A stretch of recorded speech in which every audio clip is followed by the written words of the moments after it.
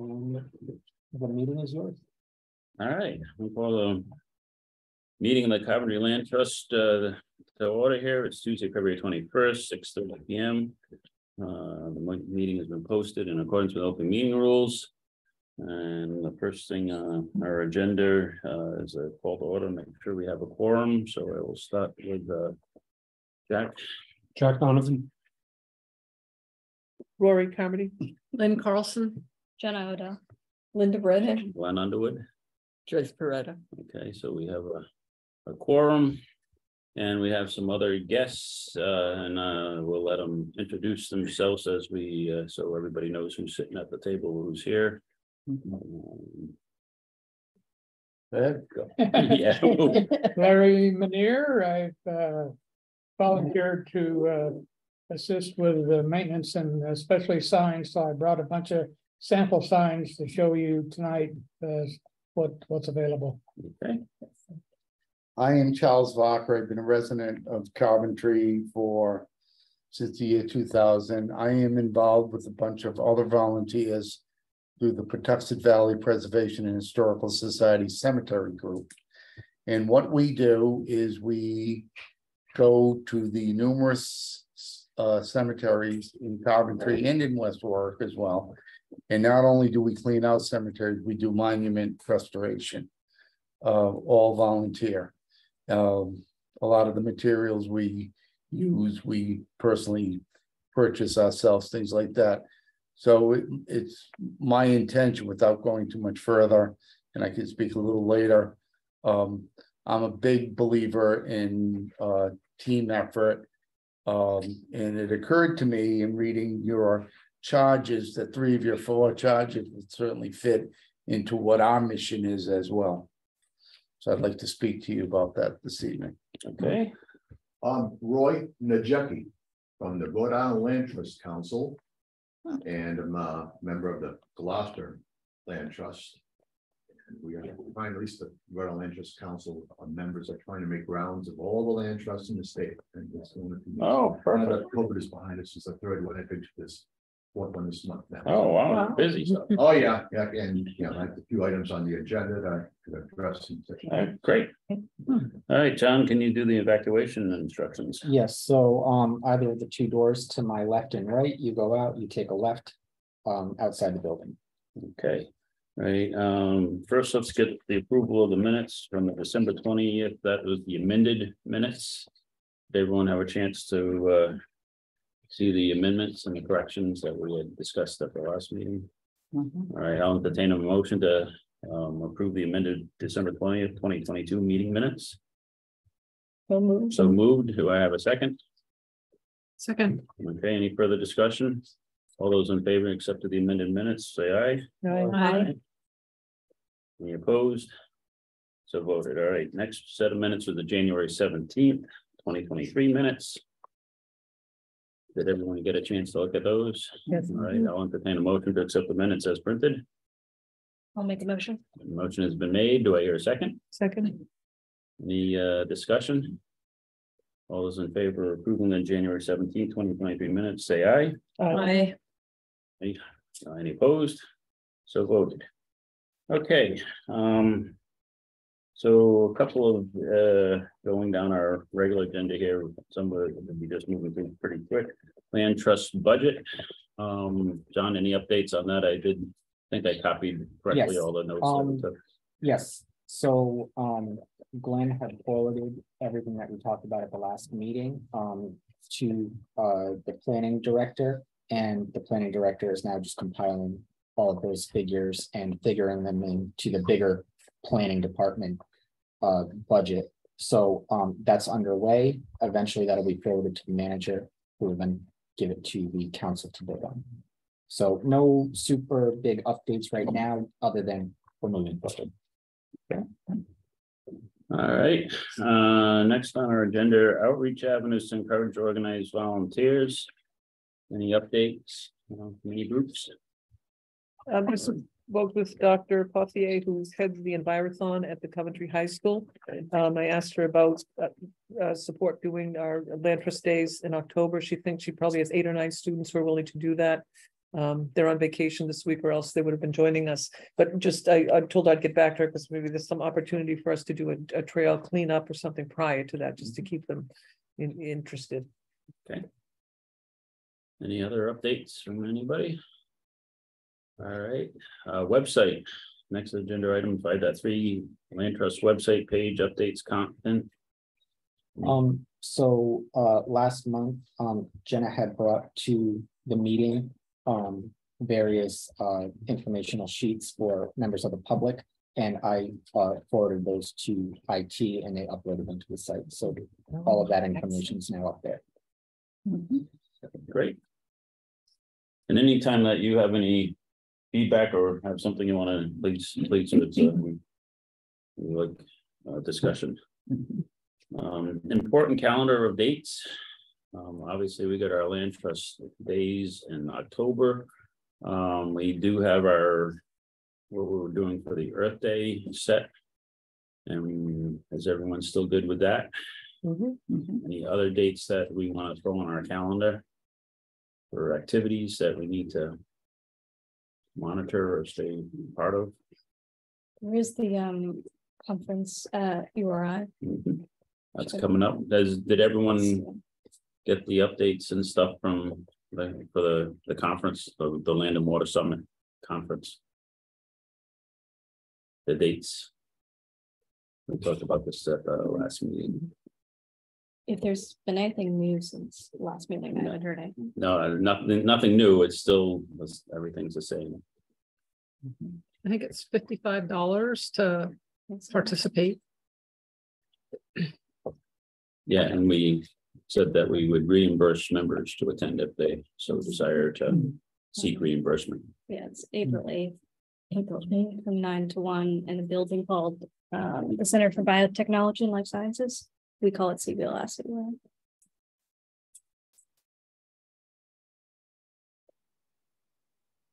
What I can do is I'll forward to Gail, just in case you haven't gotten, um, the. Stuff from the Rhode Island Land Trust Council, they published the, the, the notice of that to help advertise it out to. So I'll send it to Gail so she can send, and I would also suggest that everybody that wants to get on to the Rhode Island Land Trust Council, that we can. And we might be able to Go to the e-news and pick up the emails. get, yeah, so that way. You will get all that, they, they publish quite a bit of stuff, so if you're not on their distribution list, um. They, they- at least twice a week, it seems like I get something or, and a lot of it's good updates for what's going on around us in the state, so. If we're interested in, in attending, um, do we need to keep count of how many people are gonna go so that we don't? I don't, as long as we're not discussing land trust business, our own personal business. We're fine, We're- it's not you, we can attend conferences together as long as we don't discuss any. But I was talking in terms of, um, getting reimbursed for it. Do you, I mean, if there's, all of us are gonna go, is that gonna break, uh, break the budget. Budget. I, I would encourage as many people as going, I'm not gonna be able to go, okay, so. um, I don't think it will break our, okay, it'd be the end of the world if we spent an extra Okay. fifty-five for. Someone else to additional to go, Okay. so. Can we ask um a couple of kids from the high school if they want to go? I took my niece like two years ago when she was part of a marathon. She really enjoyed it. I think they can sign, sign up for that. Okay. Um, obviously, we can't reimburse. Right. On that part, maybe it's just. They might us, have but- funds for that. All right, I'll ask Dr. Puthoff here about that. Yeah, because I think the registration cutoff date is in March. Okay. Yeah, I think it's certain. So we'll, we'll make sure everybody. Okay. Potential properties of interest. There's anything, I know we've got several pieces that we're gonna talk about under old business. Uh, has any new. Potential properties come forth to anybody? Has anybody seen anything new? I did a search on land for sale in Coventry and there's very few parcels right currently right now out there on the, on the market. Of anything that we'd, you know, would fit in our scope, so.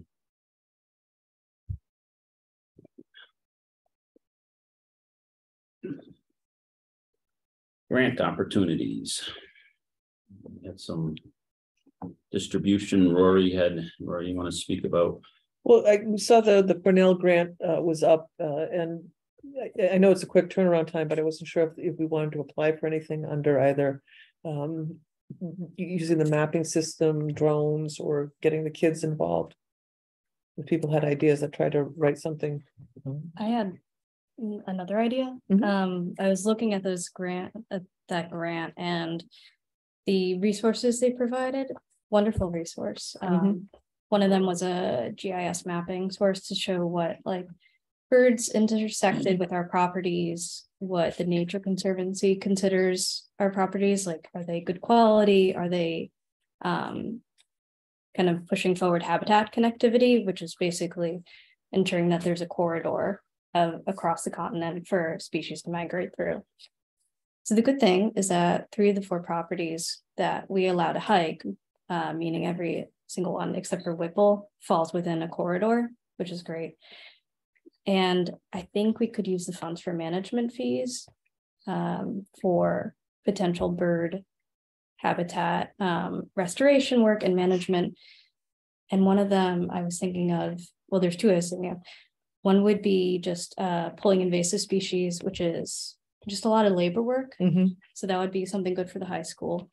Um, but getting tools and gloves, because one of the species we really need to pull is called multiflora rose. Nasty, Mhm. nasty species. Roses have thorns, and this one is no different. And I have horror stories of them. But the other thing I was thinking of is maybe doing a controlled burn. This is something DEM does, and I'd be happy to get in touch with them, but controlled burns are really good for the environment. Um, they're, they help release seeds for species that are what we call fire obligate.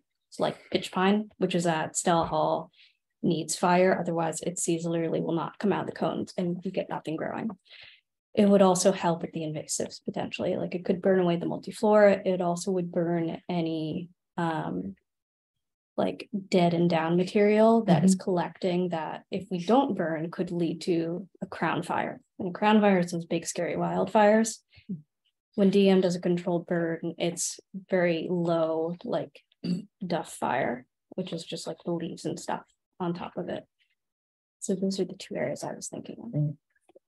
And considering how dry um our summers have been, um.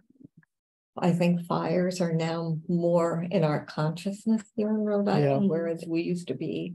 Such a wet area, it was, you know, we weren't thinking about forest fires as much as. Some other areas of the country, but that might be, Yeah, and Stella Hall and Whipple, which both could create interesting situations regarding management of people. Um, could benefit from burn.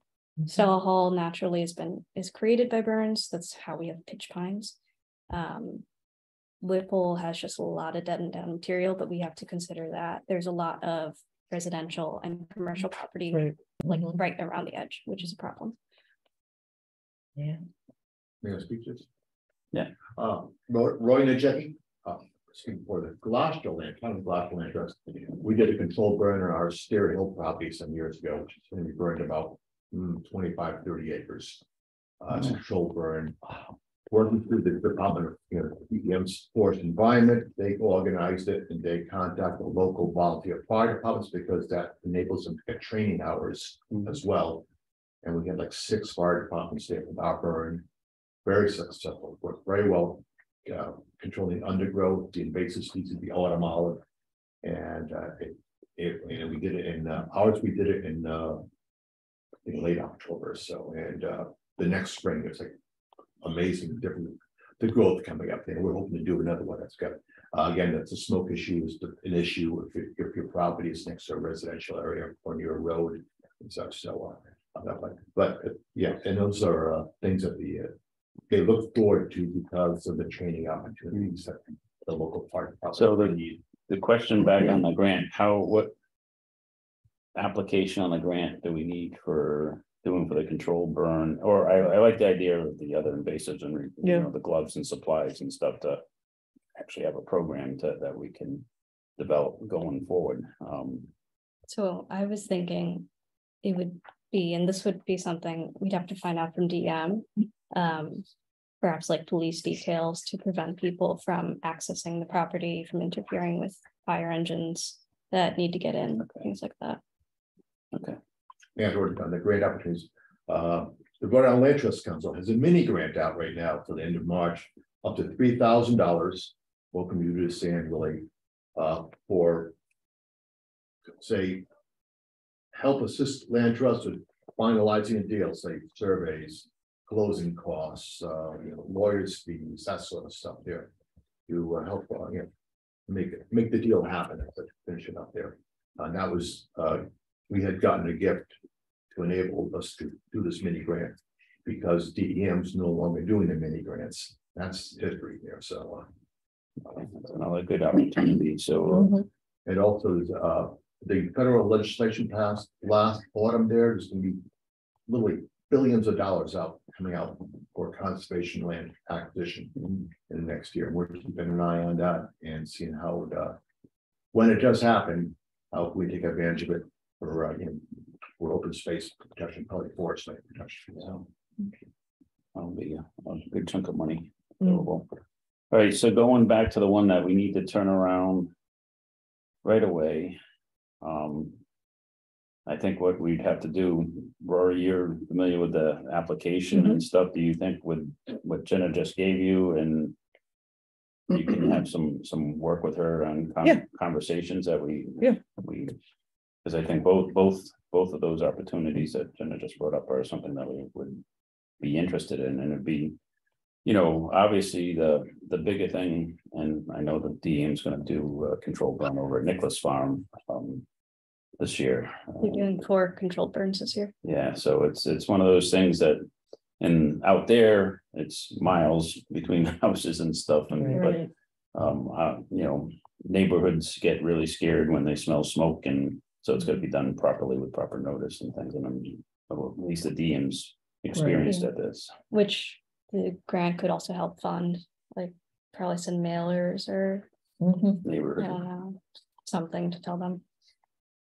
Okay, I think that's works. Lynn, I had a couple ideas, one of which was, um, and I don't, Jenna would be able to speak to this better with that little field that's on the Sullivan property. When we walked it, we saw that little field.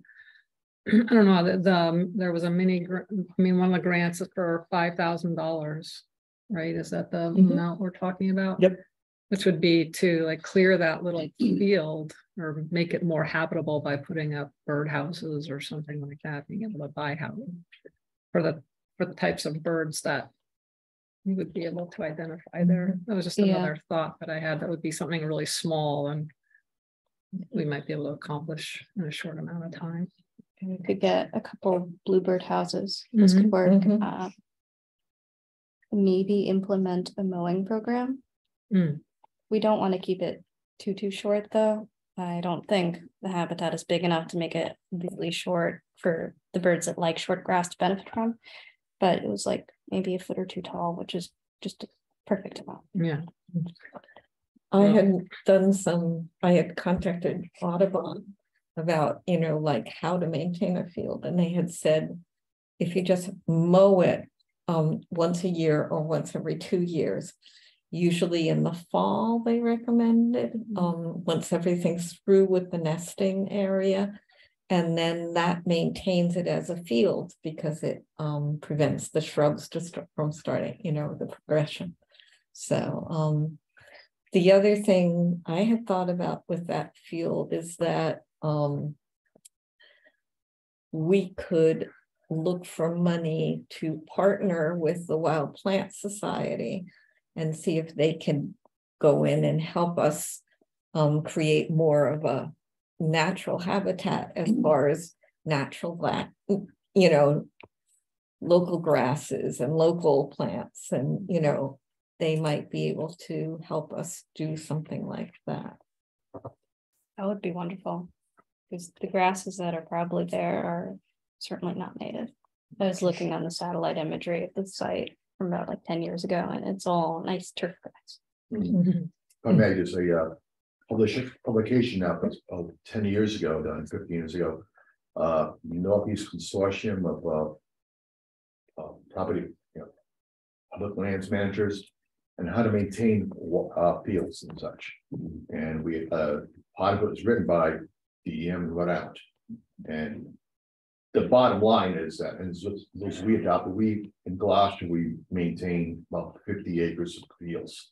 Now, we have, we have twenty-two hundred acres open space that we own, another six hundred acres we have an easement on. Um, so that we just mow by our rules from mid-October to early April.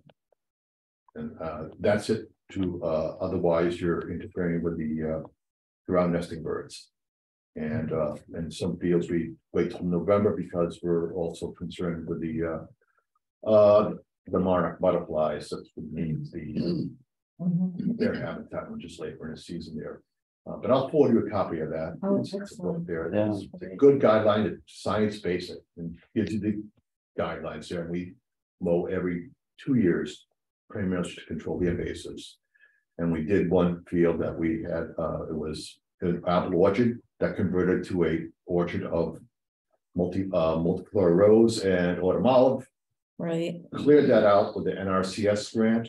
And we had that back in the day, and then we planted the warm season grasses and wildflower mix on top of that there, so. And uh, actually, no, expect, you can see where we started it and ended it. Day in and there, so. Uh, but the uh, the warm season grasses can be expensive there, and we didn't get them through the Royal White Plant Society, we got them from the. Uh, uh, it's always out in uh, uh, Amherst, Mass, we call there, so. um, But, uh, those kind of things, you know, doable there, and, uh, it's the mowing season, you gotta be, the only thing we mow in the summertime is the walking paths, that's it. Perfect. All right, so Rory, do you have enough uh info to I think so, yeah. make a, make a attempt there? Yep. We do have Hope Meadow. Which we could maybe, you know, do some work in. Yeah, the Parks and Rec. Maintain that though. Well, they maintain, you know, the main area that we've been planning to go on, but Hope Meadow is definitely land trust and historical link with Nathanael Greene.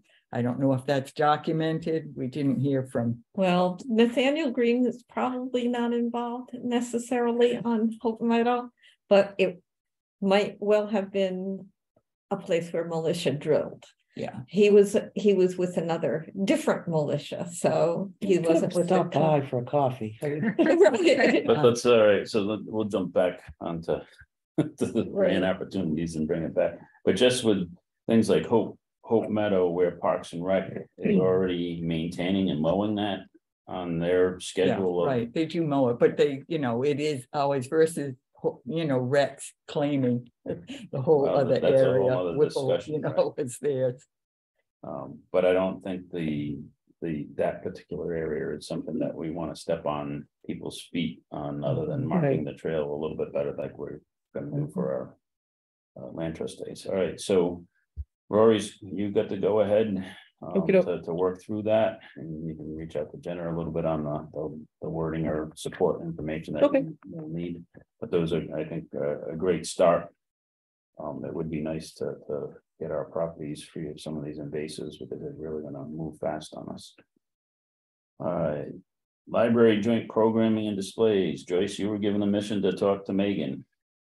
I think you've been working, Jenna, Yeah. with, uh, right, Joyce introduced me. to Okay. with our Lori. director, Okay, you- Yeah. you know, and ideas for her. I, I Yeah. did bring several books from the library tonight. You know, Yeah. that the, uh, I brought state Chantel. natural resources, the, uh.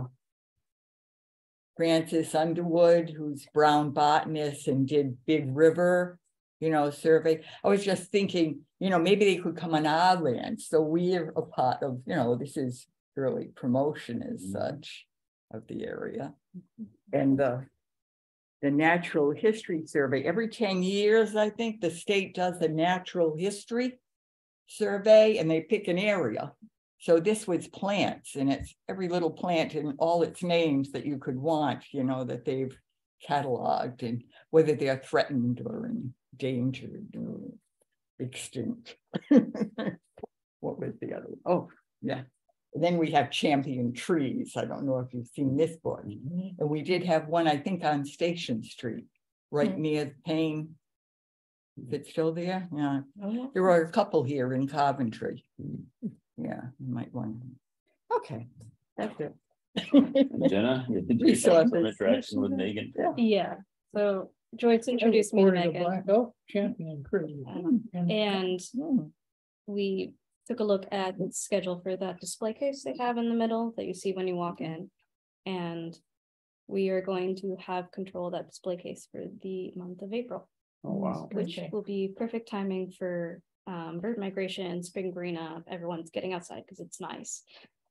What we're gonna do is we're gonna do a display of like some books. Um, Megan was looking into maybe like some puppets, uh, like of foxes and things like that.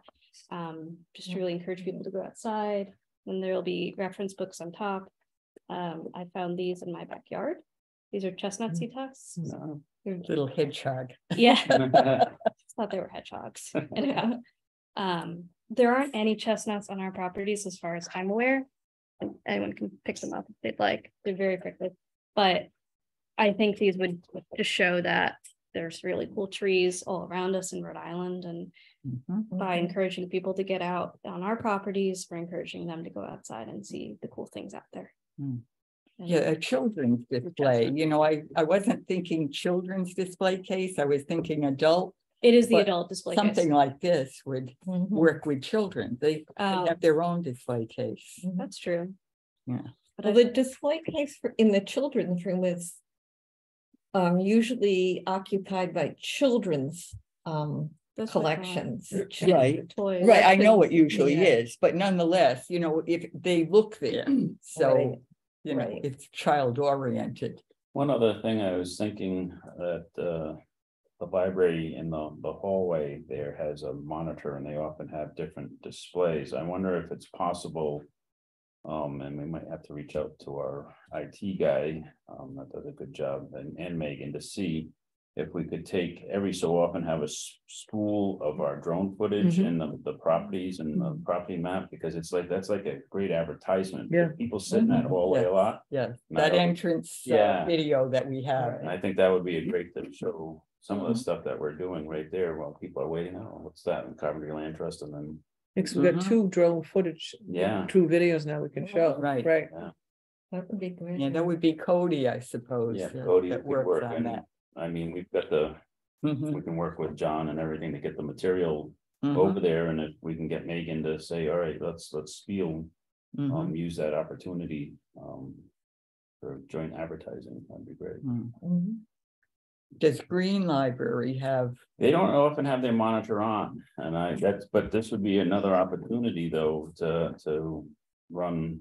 On their monitor at the library, because that- Hmm. that's, they, uh, It's been not used as much as what it could be, but they did get a similar monitor as what we have out in the hallway in this one. Mhm. mhm, So we can ask Megan, because that'd be another great place just to. Run, you know, the, a loop with Sure. Right. some of the stuff for us. mhm. So what's, what's the size of this display case? Is it? Um, It's four feet wide, I think. Maybe Yeah. eight About feet four deep, feet, Yeah. Yeah, really tall. and it's, it's Hmm. right as kind of in the center of the, Yeah. of the space, so Okay. you walk in and it's, It's right in front of you. yeah, Right now it has paintings of Coventry and snow in it. right. So are those things that you can like mount on a foam board or something and then hang in the display case or? I don't know, I was thinking of just putting them in like this. Okay, Yeah, okay, so. yeah, librarians are really, they love realia, right? Um, Very that's a thing with library, I used to work at the library, so, um, you have a real thing there to kind of attract attention is always Yeah. a. Mhm. It had a real spider a month ago. Well, there you go. All right, so that's, I think that's great. We, we really wanna, as, as Sally was mentioning, when you partner. Together, you get a lot more power and they have an opportunity with a lot of people flowing through the library that Mhm. could stop being in a, a source for us to. Get some of our message to for, for free, so Hmm. I think that's great and we'll work on. I'll see Megan next, next week anyways, and I'll talk about the, the screen out of Greene and see if we can start getting. Some of the stuff, along with the, the maps of our property and things that, you know, that we're, we're putting on the website. If we can just have an organized thing that they can plug in and run. What if, um, thinking about that display, would something like this be an appropriate thing to put in? I think it's always important That's to good. remind people about, Six Yeah. thirty, Okay, yeah. so- Mhm. yeah. So should I give this to somebody who's gonna be, Yeah, you- give it to you? Uh, Of course, it's usually at the library. Okay. All right, Joyce. Not as much. Okay, Yeah. But it's another message, though, that, you know, if a picture of that's taken and that, you know, when they're scrolling their messages, if they remind people, you know, because it's, it's like anything. People walk from there, they go right out on the trestle trail because of the way the connection is and this. Ticks right on, you know, walking right at the edge of the trail, you pick up Right. ticks, Mhm. and they are bad this year already. and- Yeah. Yeah, my dog's had three so far. Oh, wow. Mhm. So that's, that's also good messaging. All right, anything else for joint programming? Okay. Good work and thank you, Jennifer. Yeah. For reaching out for. and Getting us to April. Yeah, yeah, it was Joyce who introduced me. Mhm. See that they get that, that would be great by the children. Okay, let's Yeah, go with Stephanie. old uh business property updates. Uh, anything new that we need to discuss about Grassett property other than We still own it. we own it? We own it. All right, so that may be an opportunity for, after we get through. Um, Whipple property this year and um marking a couple trails, we should probably schedule a walk. Just to have an idea what that uh. You know, so everybody gets a feel again of the the terrain and and the people that haven't visited uh can go with us, so. Um, as soon as we get out a little bit out of the, the mud season, um, and we get past our, um. Earth Day weekend, maybe we can schedule something for early May. Um, to take a walk through there. It's a really nice property and just so everybody gets a feel as for what kind of work ahead of us. We'll have on that, so. That's a one great accomplishment for us uh, to acquire. That was a fifteen acre property in the eastern end of town, which is It's rare. rare, it's probably was one of the larger undeveloped parcels of in eastern Coventry that we were able to secure. The rhododendrons will be blooming. Yes, that's true, It's that's just massive in there There Oh, was a- that's lovely. in May.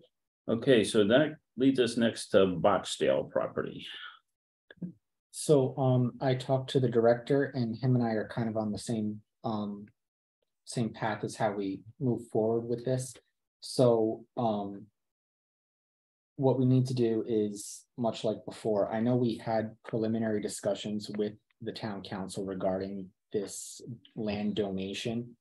Um, but it was kind of always on the back burner, the Grassett property was always the, um, the priority. Um, and it was kind of like, oh, well, yeah, this land donation will come someday. So now that we're there, I do think it would be a good idea just to have, um, you know, just a quick check-in with the town council regarding that, saying, hey, this is what we want to do. Thumbs up, thumbs down, let us know. In the meantime, um, my plan is to, uh, start reaching out to different land surveyors, starting to get pricing um, for, uh, their services, because this would have to be, um, go through the administrative subdivision process, um, through, um, our planning office. It's Relatively quick and simple, um, but it does require a surveyor's map. So while we're waiting to get scheduled on the council agenda, I can start doing that, like work behind the scenes and um getting those pricings. That way, once the council gives us the go-ahead, we're already ready. Um, there is one thing um that the director and I flagged.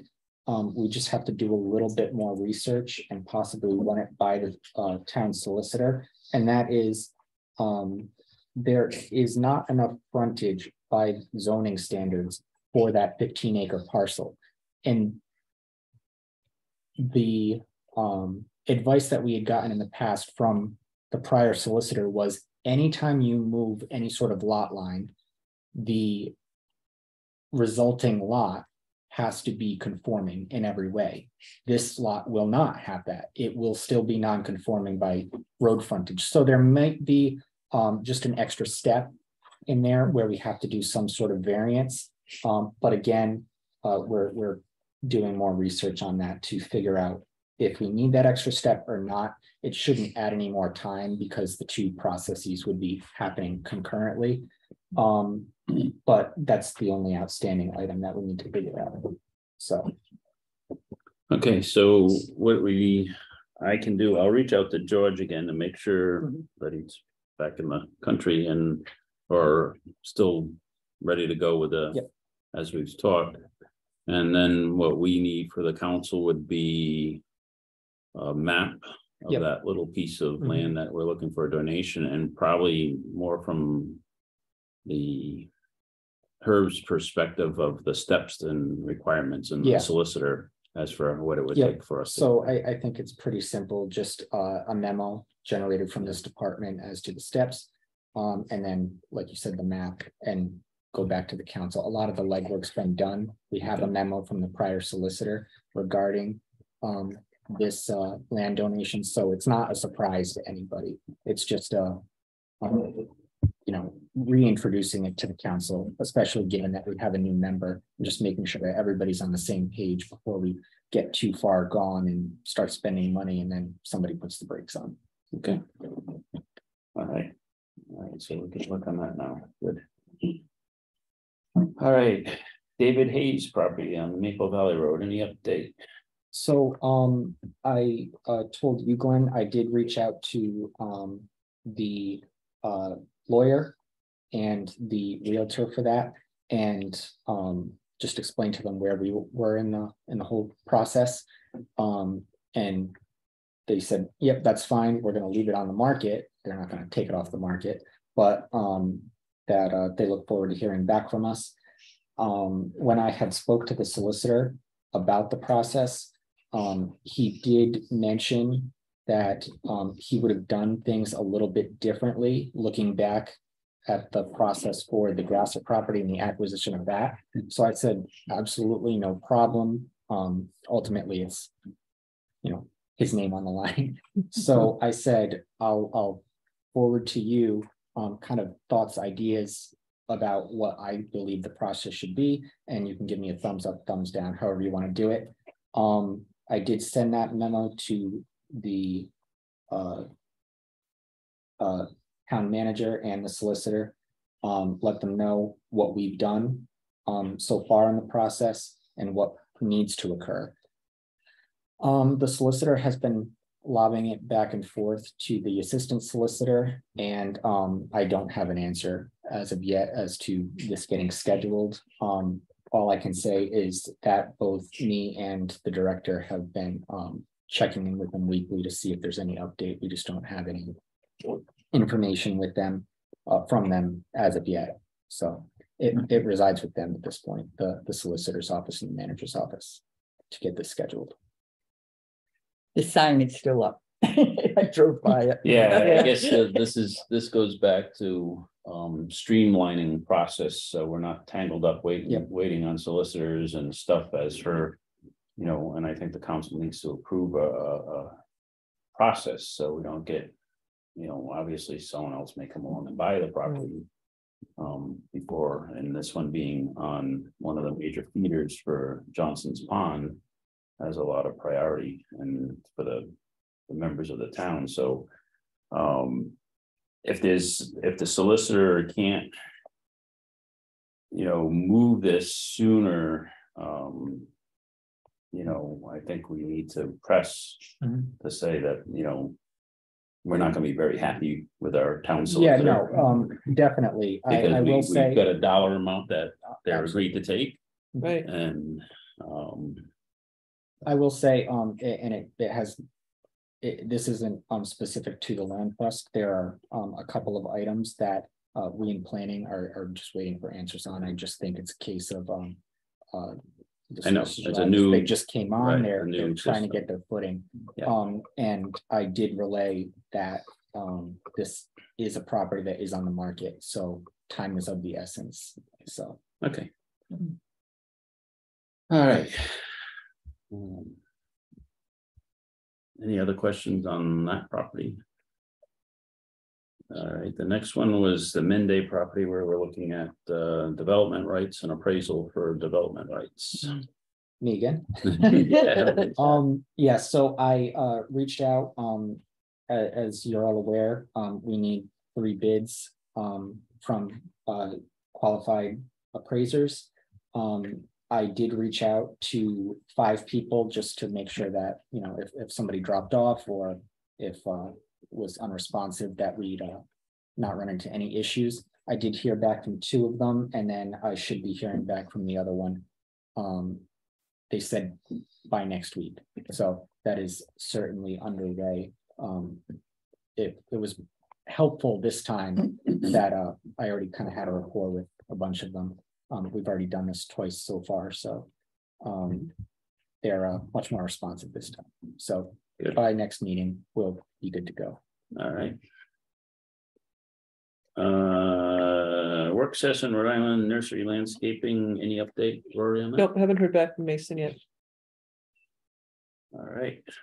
Keep on uh, moving down the agenda here, drones, uh, so we're up to section seven, Yep. ongoing discussion, drones. I saw Craig uh this week at a conference and he's excited about doing more of drone work with us, so I thought that was good. Good. Yeah, I would think that uh, um, for our.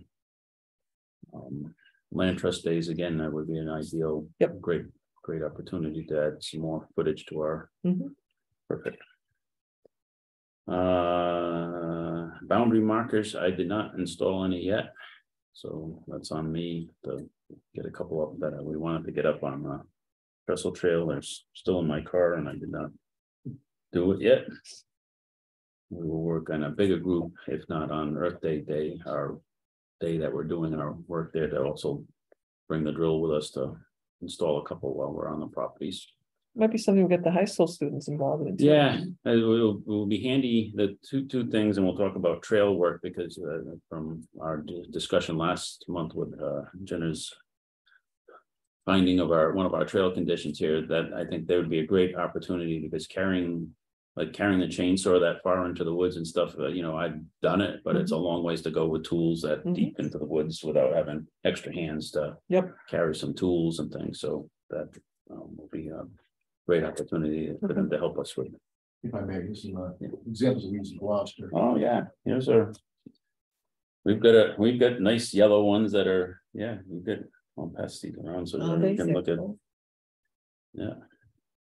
And That one on your left hand is the newest one we just got last week. Oh, We'll Use on road frontage or property or flex Oh, I like backyard. Oh, Yeah, okay. yes, yes, that's You always, know, you can't. Yeah, touch we stuff do. on our property. yeah, yeah, no, that's, Maybe That's great. area signs. Hmm? Maybe see there is Oh, really? signs. I like that there's a phone number. Ah, Yeah, yeah, it's an interesting, I think in the, in our next batch that we could always put a phone number, and that way, I'd say, well, if I have an issue with. um, The problem we've had with our boundaries is often we've got uh. A uh, an imaginary line going through the woods. Right. And say it's, say it's a quarter mile between the corners there. Trying to figure a straight line up and down the hills and such, and now we we have a, uh. Mm-hmm. when we've acquired the property, we have a spec that for our class one survey. That we have the surveyor put. Uh, points online, it's called. Every hundred fifty feet, piece of rebar right on the line. And uh, so that we can find it. You know, mm, down good, there as yeah. a, the signs up also, um. With the class one survey, we haven't, we haven't one done now, they, uh, it's, uh, the, the map there. Where every, the one survey, you don't have to put a granite boundary or any monument at a corner, every corner. You only need three.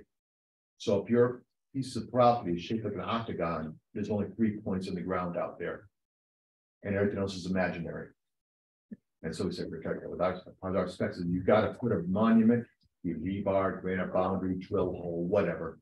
Like iron pipe at each change in direction, Mm, and if, and if the line is greater than hundred fifty feet, there's gotta be a point on the line. And I want a table on the map. With GPS coordinates where everything is, so I can go, Go out there with the GPS, oh, yeah, there it is, there, so. And uh, Yeah, that's costs good, much more, but It's well worth it. when you're out in the woods here trying to find a line, and then where is it? I found, I did one of your properties, I can't remember some. Like, just around COVID hit, and I was trying to, it's around here, but there's no barbed wire, there's nothing to distinguish it. We're on this ledge the line exactly is, so. Yeah. you know, But that, that really, it it took us twenty years to come to that realization. and No, then no, that's a very good uh, point. Surveys, uh, Yeah. had some, you know, points outline. and we talked to sort, oh, yeah, this is, oh, okay, added a couple hundred dollars to the survey cost, so. Yeah, no, that definitely the monumentation and the GPS points are. are- Then, then it gives you something to put these up. on. You need to where you are, yeah. Put them on your neighbor's property. Um, perfect. Um, so yeah, we, we will at least get the easy stuff done that we know. You know, that we don't need surveyors help and, and stuff, but the entrances along the roads and stuff, so people realize in along Trestle Trail, we wanted to do that. Um, Kiosks. No updates. Okay, I don't think we had any. Signs, any updates? We're Time. Very, To show you a sample. That's good.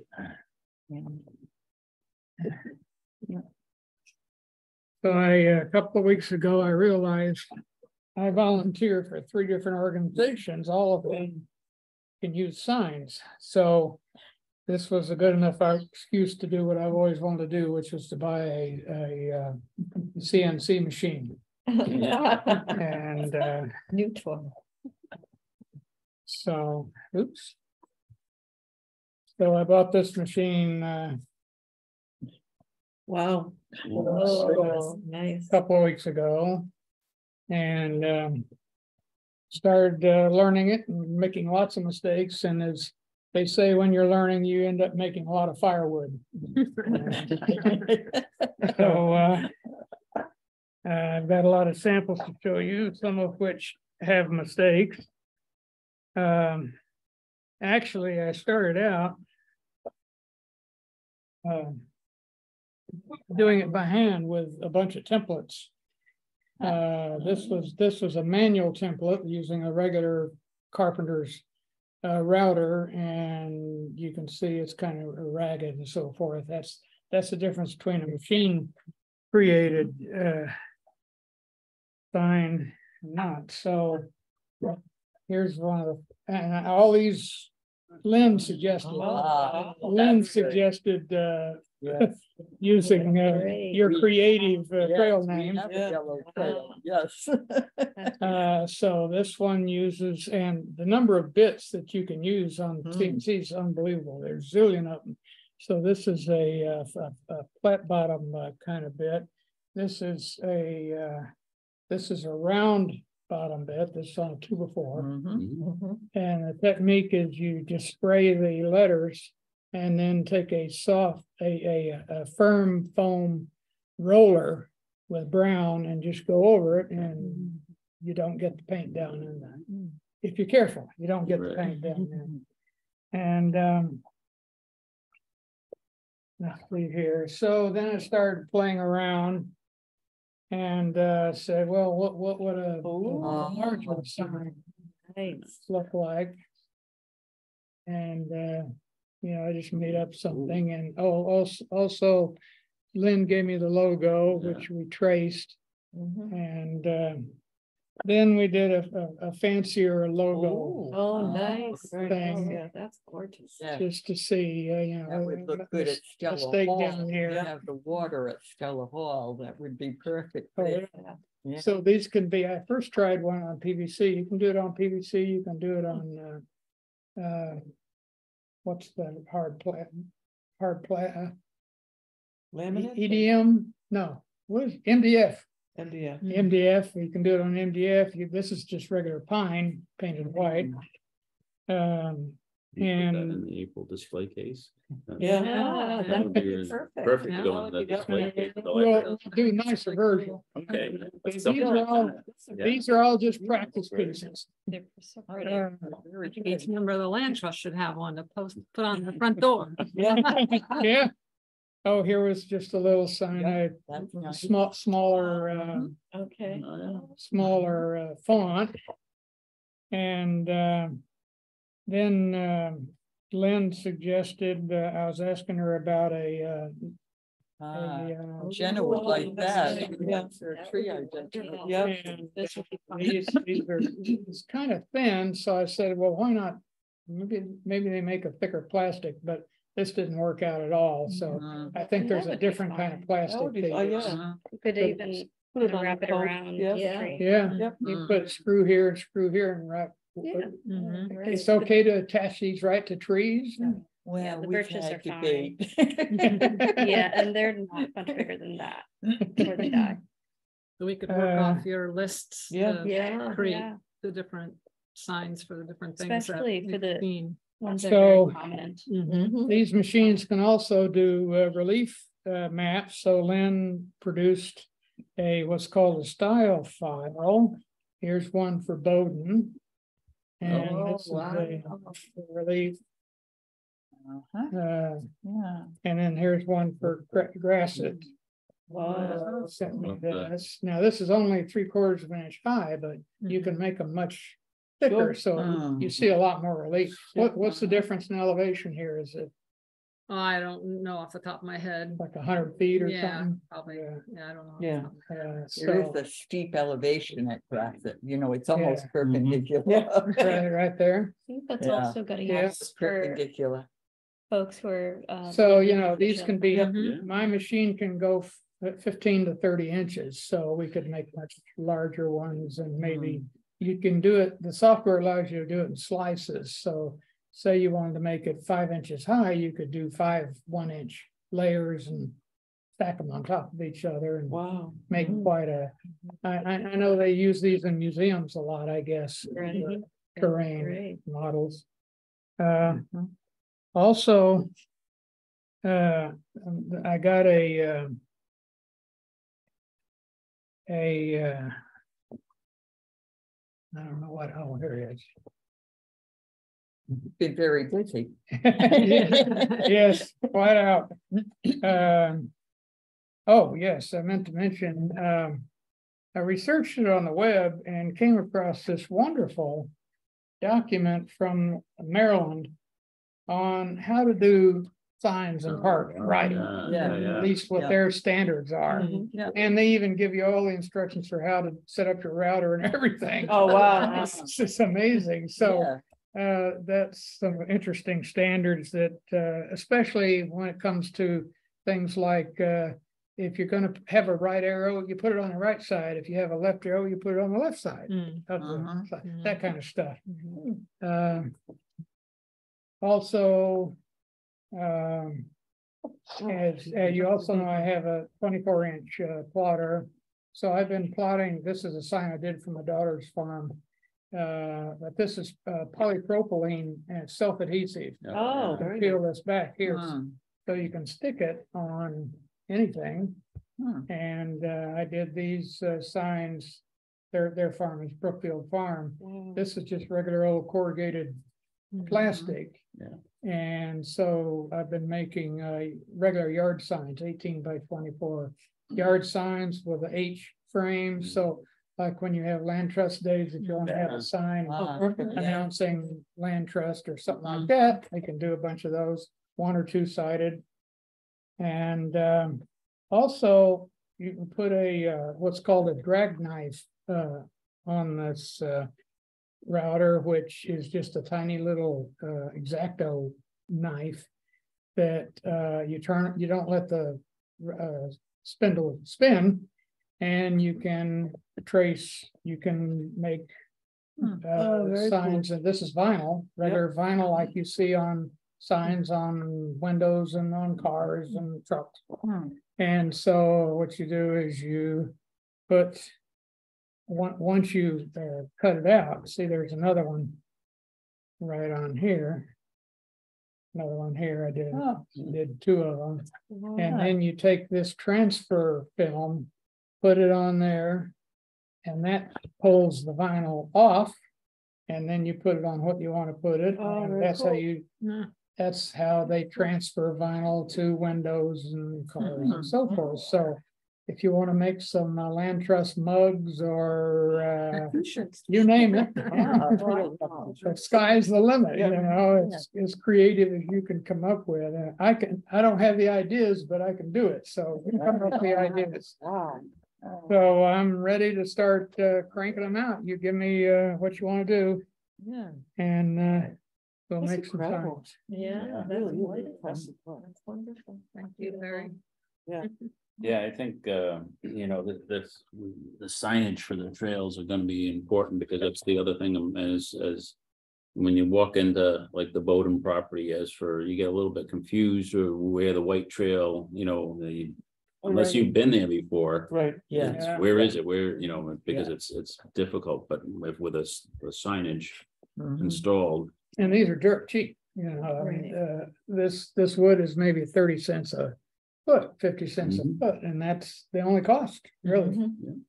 Some paint. Hmm. Is it A little bit fine? of paint. Do they recommend what type of wood to use for endurance? What type of wood to use for endurance? Well, these are pine, Yeah. but uh. I really like, I I use a lot of oak from uh uh Thompson Native Lumber and Uptonton. Uh, they, you can get full dimension lumber there, one one by fours are real nice. And oak, I just, I just built on my daughter's farm, I just built five raised beds out of oak from from there, cause it's lasts a lot longer. Than the pine, if you wanna go with cedar or something like that, the prices are out of sight. Yeah. Right. Yeah, yeah. So uh, I think our, plus also I uh. I use the sealers like shellac and uh clear coat and other kinds of sealers. Um, none of them will last forever, but uh. I don't know what else, what else to do uh, other than going with uh. Aluminum or something like that. So your machine works on aluminum too, as well as wood or just wood? It it it can engrave on aluminum. Oh, that's. cool. Oh, the other thing this machine can do, you can put a laser on it, a laser uh, current cutter. Yep. Or butter, so you can engrave les- leather and Wow. burn.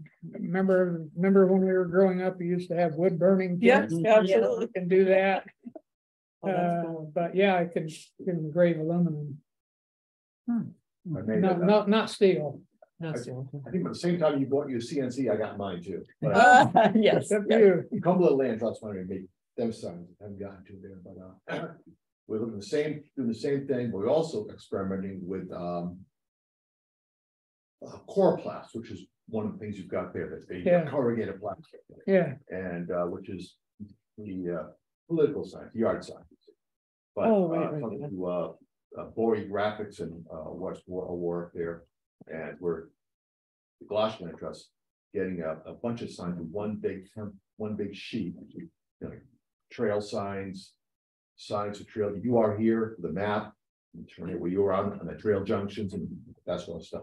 Laying it all out using uh, Adobe Illustrator software, graphics, getting the big sheet, just, you know, with their uh, utility knife, cutting out the parts you want. Using construction adhesive, you know, gluing it to a piece of plywood, putting it up on the tree or the the post at a four by four post at a trail junction. Doing it that, uh, way, and the signs would be, uh, you won't see the plastic because the whole background would be the, uh. Uh, the brown color is called, uh, lodge brown, lodge brown. Uh, this is espresso. How, how, how are you printing? I mean, How are you printing them? Well, we bring the, the PDF of my, say, my four by eight, four foot by eight foot sign, okay, which is Right. like, got like 30, 40 signs on it. Print it, they print it up, four hundred dollars, and we just cut out the parts, that you know, a little size signs. And just glue it to, uh, outdoor, uh, quality uh, plywood. Again, round, so it looks like natural wood, Mhm. and just, you know, using lag bolts. Attached to trees and such, or, or four by four posts. Or if you're doing a post, literally do a, uh, a vertical sign so that this, the name on the, uh. The four by four post is vertical. It eliminates a, uh, vandalism, somebody can't grab the sign and rock it. Oh, Because it's just integral with the post that's out there. We've done that with the, I also uh, volunteer with the Appalachian Mountain Club, we mark the trails at, in Arcadia. Doing that same way there, so, uh, uh, other land trusts like, uh, East Providence, when spent money on nice fancy posts and signs. It lasted about six weeks. I think they spent three thousand dollars. They left Oh. about three weeks, four weeks. Told them no, but they, they they had the money to burn, and so they did it. Uh, and so they replaced them all with the, the typical, typical signs that, uh, you see elsewhere. So we're trying to coroplast and see how that works out. So you're printing directly on the coroplast Yep. rather than using a, uh, Well, the, Something like the, this. or, or graphics who makes all these little signs, they do the printing on their Yeah. press, and they just give me a sheet and I just. With the Okay. four by, four foot sheet of plywood, it's actually coroplast plastic. And I just, exactly when I put it, you know, straight, I just cut it out the one they want. Gluing the small signs to plywood and. Yeah. Uh, eight years ago, we did the signs at Smithfield Trust, the Wolf Hill ones. And we did is hold it on Microsoft Word. And just and just printed them up, paper, put them in a laminating machine. Glued them to like pieces of, uh, you know, small pieces of plywood. They've lasted six, eight years. well. Mm, wow. Wow. I forgot to mention I can laminate, uh, letter size and legal size. Yeah, so Wow. that, Yeah. that becomes, yeah, that was a. cool. Three-way of marking this, we have- we did it. Yeah. Eight miles of trails and one after. that, so- Oh, wow. The, Yeah. the main difference is my services are free. Yeah.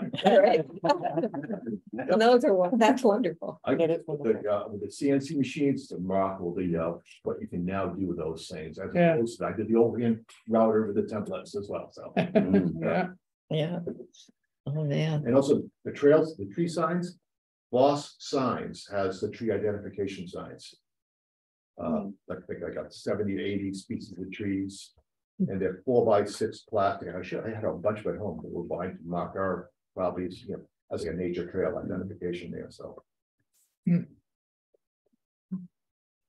Larry, those are beautiful. Yeah, that's. Thank you. fabulous. Yeah. well, uh, decide what you want and let me know. Well, I think for our Start display printing. case, I'd like that one that would go right in our Yeah. display. case, Yeah. The round one there to go right in for, for, for the month of April.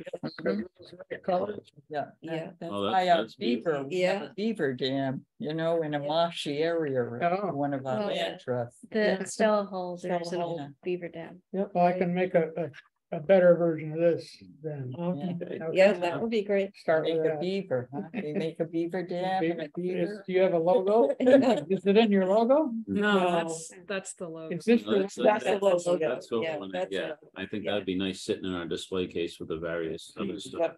Cool. Yeah. Okay. Yeah, I'm wondering if maybe for our next meeting, we should have an agenda item of making a list of the signs we'd Yep. like to have. Yeah, Mm. what direction you want the arrows and stuff. I Yeah. mean, you don't know Yeah. what all the properties, but for Mm. Bowden, I would think that would Yes. be a Right. priority. I think to it's a priority for Bowden. the- Up Yeah. there Right. so that we Yes, we need the, the. have no more turns and- people getting lost. Yes, Yeah. yep, Yeah, so I think the thing to do is, is to, to focus on Bowden with the signage, um.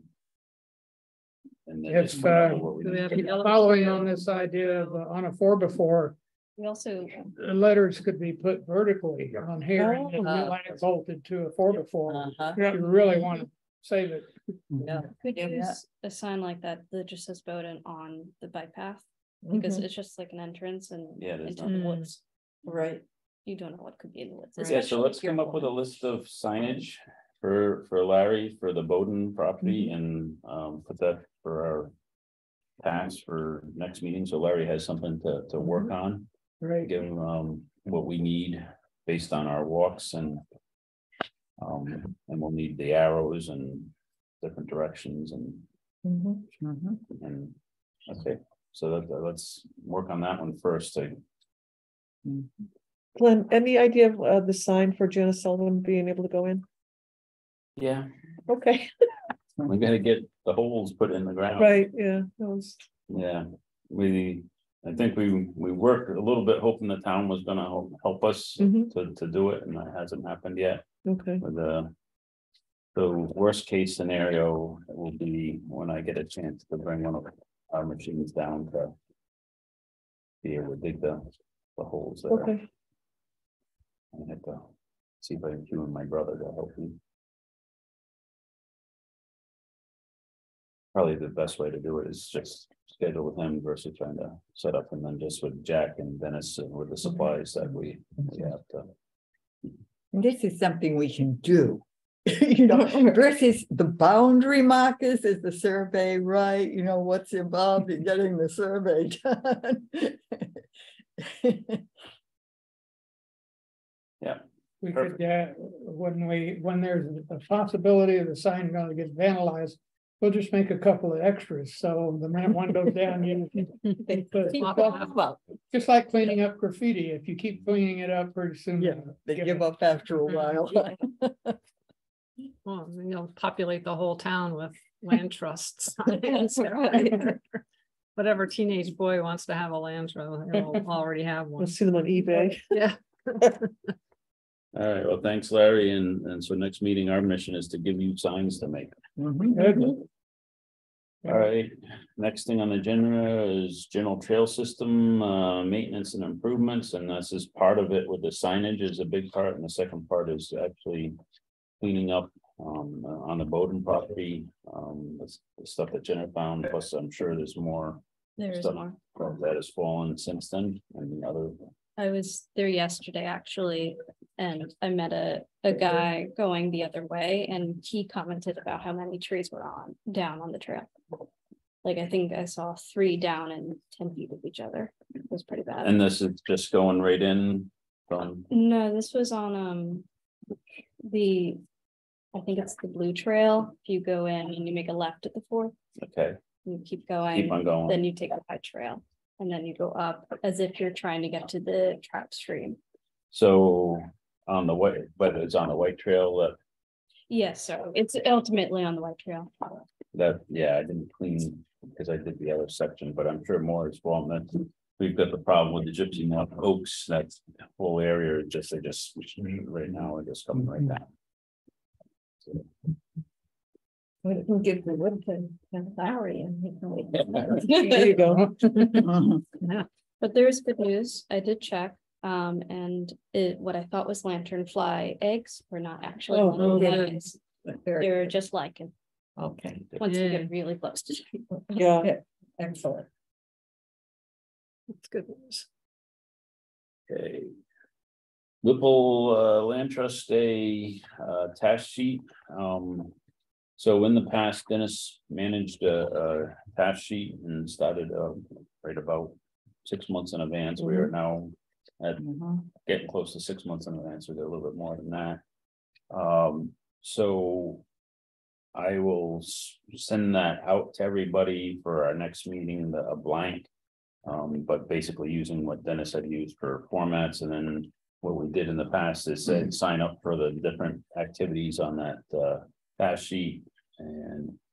Make sure that we got our ducks in a row as for what we're gonna, how we're gonna set this all up for. Um.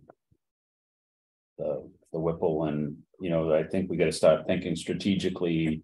Which entrance area, obviously, the off of Sandy Bottom Road going in from going across there, you got a much easier, more space in that parking lot than All right. than the other entrance, um. And, Hopefully the construction will be more further along by then. yeah, I don't know how many years has it It's been? been three years. so I'll be far. right in the parking lot. Yeah. Yeah, um, yeah, it's a little dan- you know, it's when I went at Christmas time, my wife and my children, we would walking through there just to trudge the, the trails there and that, that. Turning in through those stuff is just like, if you're not careful, Oh, yeah. I know. you It's tough.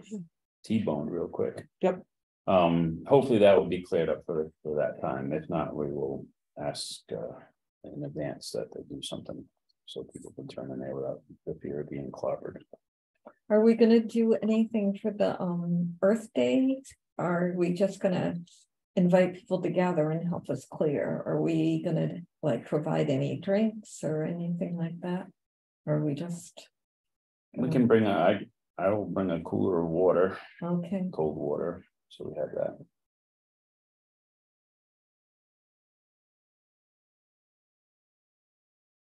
and that's gonna be at Bowden, right? We decided that's will be our, our big focus to get that back in condition, so we don't lose it and get the trails and. Um, it may also be time, time wise with looking at getting some of the signage into position too, for Right. the trails, so. Uh, What was our date on that? I That's didn't- April twenty-second, and are we gonna, maybe, what, From else? nine to twelve. yeah, twenty-second, nine to twelve, and what about, um, a list of helpful tools? Um, so for everybody, well. Since we're, we're. For both of these, any of these projects, the helpful tools, I'm gonna bring a chainsaw, we'll need people with some. You know, smaller hand saws and clippers. Um, I don't know. Probably a shovel, you know. Jack usually brings his rakes and shovels and stuff and loads up his truck with stuff, so. I put a variety of things, you know, I think our big mission down through there is, is again, the, the cleanup of the, the trees and, the down trees. yeah, and then doing, um. Line them up along the Lining up side. some on the edges to Yeah. the areas that with the trail sort of disappears right now or is Mhm. difficult, especially through that stone area, we need to figure out what's. Um, but with some of these sign capabilities now that we may have, there may be some other ideas that we come up with that we can get either a metal stake in the ground where it's. You know, you're through that rock patch, there's no trees or anything, but you gotta walk across it. Um, so we've got to take a real good look while we're out there to say, you know, this is where people will lose the trail that have never been there. On the That's where I lake lost Yeah, it's tough there, very tough.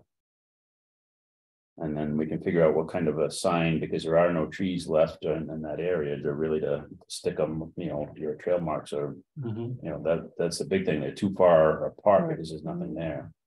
So we might have to drive them, um, a metal stake and then put one of these signs attached to it. At least it'd be really simple, because if there was a metal stake with a white bar or whatever for the trail, it'd Mhm. keep you going, so. So yeah, for other tools, I mean. I think everybody, you know, I'll, I will have a training, so I'd say. um, Try to get the kids from the high school to that too, and that might just be another project they can get involved in. Yeah, Yeah, if you that could get them, that, that would be the biggest help, Yep. because that one's, you know, we'll get a lot more done in the three hours. Yep. Um, with, with some help, especially moving some of the pieces of Yeah. Mhm. logs after you cut them up or whatever. I'll send that to her tomorrow. If we can't get something.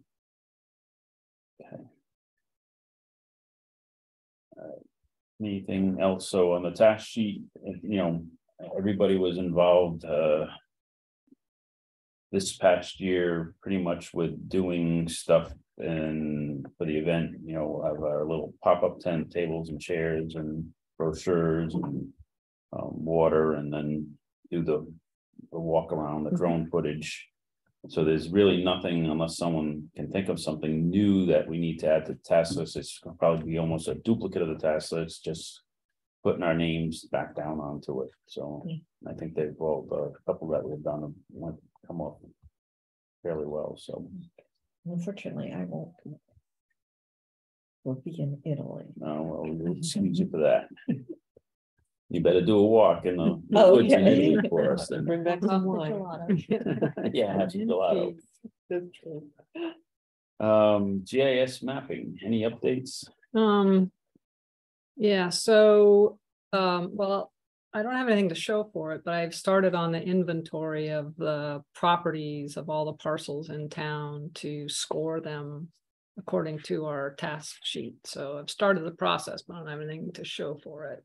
Okay. Um, but hopefully, you know, maybe in- within the next couple meetings or so, I'll have a way to show you online, um.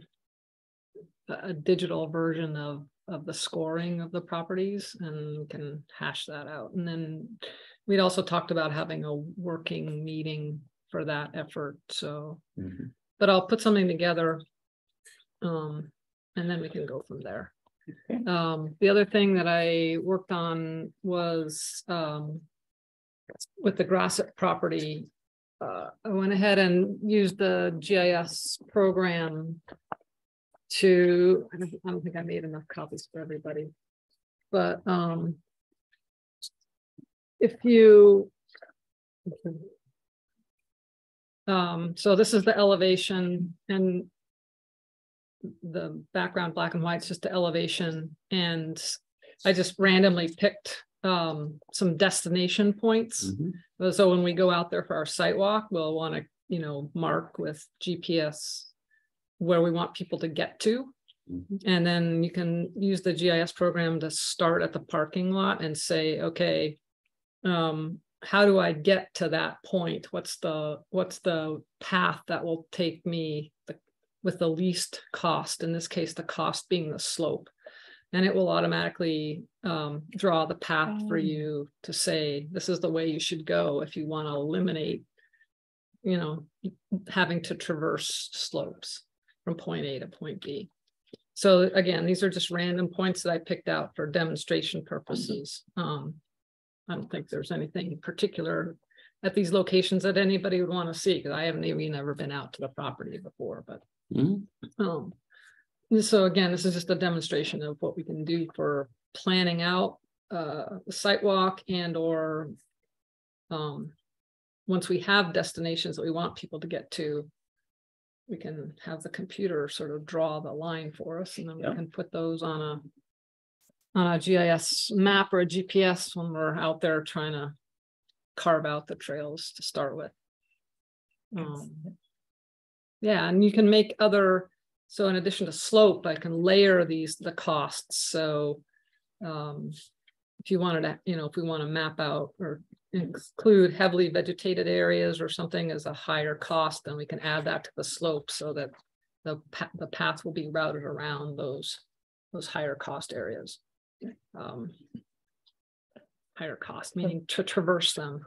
So you can see on here what I, I had it avoid the. Because initially it wanted the slope wanted to go down and go right into the water, so I drew a green boundary around the water to say, no, you can't go, don't go down into that area, because it's all marshy. And then I drew a line where the brook was to say, no, don't, you have to go over the brook to get to point two. Mhm. Mhm. So avoid that, you know, that's a barrier. So it, you can put any cost surfaces that you want in there and add them all together and the program will choose the best way to get around. So those from point A to point B. So, yeah, so capabilities there, we just need to get out there and and figure out what we want to do. And this can also be used on the uh the Sullivan property when we want to, if we want to get the trails to go, figure out where to go Yep. to the further north in that, Mhm. in that property area. The trick is to find out the destination. Where do you want to right, go? Right, So, so you haven't walked any of the existing trails? On, Su- on Sullivan, yeah, we have. No, but not on grass. On Grassett, no, I haven't ever been there. No, so what we're gonna do is, um, for putting on for our next, uh, meetings agenda, setting a schedule to walk that property Mhm. in, in, Mhm. in May or whatever, so we can, everybody gets a feel of it. Um, So that's, that will help Lynn on, as we walk through there, just as a work session to. And We can get a feel for it right on the. Yeah, relief right on map the- that Larry Relief carved map. out. Yeah. Ever gonna make a bigger one. yeah, All I right, can thanks, also- Lynn. Try to like forward the path, you're still all, Mm. or bushwhack path. Okay, new business twenty twenty-three membership dues. Yep, for um, the just, Rhode just Island. trying to catch up, um. So, so there was a request, um, for renewal. Um, to pay the, uh, membership dues. I don't think I have to ask, um, if you guys want to. Um, but if you guys just wanna have a vote to, um, move forward with that. Um, to pay those dues. um, What's, uh, what do we figure that our contribution this year? Yep, so, um, the, uh. Uh, standard in, in the past was, uh, hundred and fifty dollars. Do I hear a motion to uh renew our membership to the Rhode Island Land Trust Council for hundred fifty dollars. so moved, sorry. Second, Second, any uh further discussion? All those in favor say aye. Aye. Opposed, so voted. Great, so John, you can process that out. Um, we'll do Brenda stuff and then I know Charlie wants to talk and.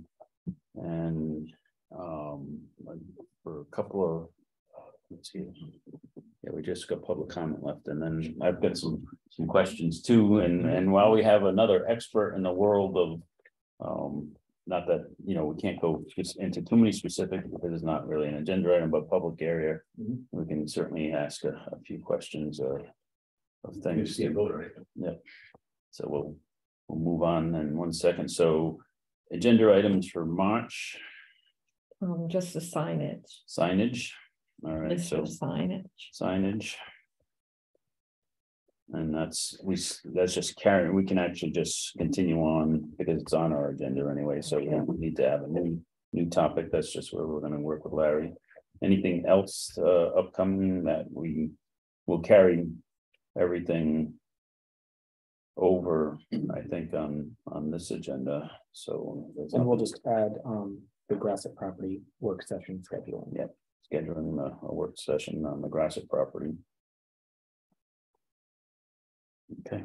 so then I think we were going to have a presentation by you. Where, did you have information you If you want? wanted me to talk now, I'm, We're gonna move. I'm always ready to talk. Waiting. Yeah, we're, we're- we're at the public comments, so now we're, uh, a great time for Okay. Charlotte, and do we have anyone out in the, the world there too? Yes. Okay, so we do have a person, so, uh, Charlie, why don't you start with, All right, with your. I will try to be brief. I've already told you what we're all about. Um. But uh sitting here listening to your meeting, I took time out today to look at your. Um. Charges, uh, you have four, four charges. Uh, three of them and probably a fourth, we could probably meet with what we do regarding cemetery preservation work. Um. What would interest this group probably is. Um, the work we did in Manchester and Pine Grove cemeteries. Does everyone know where those are located? No. So if you're coming out of one sixteen. Um, and you're facing one seventeen, to the right of you is the cemetery Woodland. Got a big monument, Byron Reed. Byron Reed was a big mortician, among other things. And that's Woodland. That's not the cemetery we're talking about. There's a cemetery across the street that you can see the beginnings of. That's Manchester. Manchester goes deep in the woods over there, across the greenway Mhm, and to the left. Uh, and it straddles your property, by the way. mhm. To the right, there's a stone wall that you step down from. There's conveniently a step in that stone wall, believe it or not. Um, you don't have to jump. Um, that is Pine Grove. That is the cemetery that Byron Reed's brother Henry bought to further their funeral services, which I won't go into detail, but it's a fascinating history as to what uh, Byron Reed accomplished. Um, we spent twelve years in those two cemeteries, believe it or not. Mhm. Uh, twelve years? No, I'm sorry. Seven years, two thousand twelve to two thousand nineteen. And we're still in there just like maintaining. We cleaned out the cemetery. There were areas in there that were completely not only overgrown, but the landscape that the town hired was blowing leaves, completely hiding stones. We um repaired or restored about a, over a thousand monuments. Um, Mm. that's what took us so long and so our thought is, and, and there's like a core of like five to seven of us that form this cemetery group. We're all volunteers. Our thought is to have the town participate more on this. Where could the land trust come in? Uh, already we have people going in there for passive recreation. So it could be incorporated more or less as part of the Merrill Whip- Whipple site. Okay, you have people going in there in Merrill Whipple, you're talking about further de- developing it for passive recreation. Uh, already we have people going in there, people love to go in there and just walk. Uh, love to go in there walking their dogs. They even go in there and they notice a lot of the stones and everything. That cemetery isn't really rich on, um. There's a lot of significant monuments, but the symbolism, not so much, but there's that big obelisk that's the Stephen Harkness stone right in the center there. That's magnificent. It's the largest, highest obelisk in all of Coventry cemeteries. Hmm. So it's a very interesting place. Uh, the maintenance that would be required in there, because that's on perpetual care of the town of Coventry, is during any, given any type of storm, a lot of branches come down. There are also some dead trees in there that the town tries to help us out with at times, uh, but doesn't, uh, and the town is great. Public Works has been great with us. Okay, in fact, if you go to Maple Road right now, which I'm gonna tell you about, um, there's a loader in there. At one time, um, Maureen Buffy, who I call the cemetery lady, she really spearheads, uh, a lot of this. She had all the town's loaders in uh, Manchester and Pine Grove. They own about three or four of them. All of them were located there, and we managed to fill all of them up with refuse. So that gives you an idea. Um, I could tell you more about the history. The history is fascinating.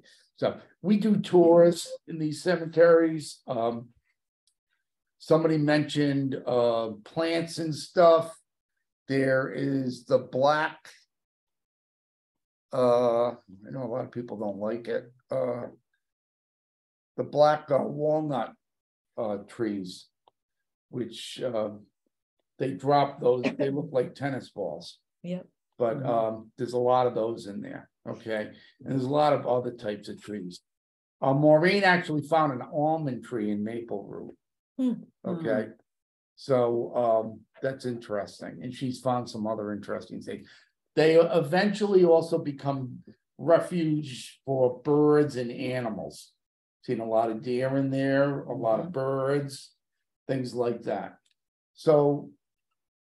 You know, we're looking to team up with the, the, uh, the land trust, your group. I, I've also had thoughts of the Conservation Commission. Uh, we actually, there is a statewide conference, the second consecutive year that the statewide is doing. Um, this year they're calling it Restoration and Awareness of Cemeteries. And- we're beginning to, uh, do a schedule that's gonna begin the first week of April. Uh, going through the last week of May. We flag veteran cemeteries too, by the way. Hmm. That, uh, there, I think there are over five hundred veterans buried in cemeteries. And by the way, there are two hundred known cemeteries in Coventry. There's another fifty that I call lost to the ages, but we've actually located four of those. Okay, one's right in your Yeah, neighborhood, I. Okay, right at Capewood. Yeah, right under everyone's nose. There was this old yeah. farm fieldstone cemetery right in the woods there. Okay, Hmm. uh, the other. street. Our main thrust right now is Maple Root. The old Maple Root, which is a fascinating cemetery, dates back to shortly after the King Philip's War. Okay, we believe there are burials in there that go back to the late sixteen hundreds. It was a common burial ground, the best known burial ground that everyone's familiar with. There's the one in Newport as you're entering. You know, uh, there's um God's little acre. Uh, But that's a common burial ground, okay? And there's a lot of famous pe- people buried there. The symbolism is um. In Maple Root is found nowhere else, on the stones is found nowhere else. Hmm. So uh, does everyone know where that is? Right across from the Baptist church.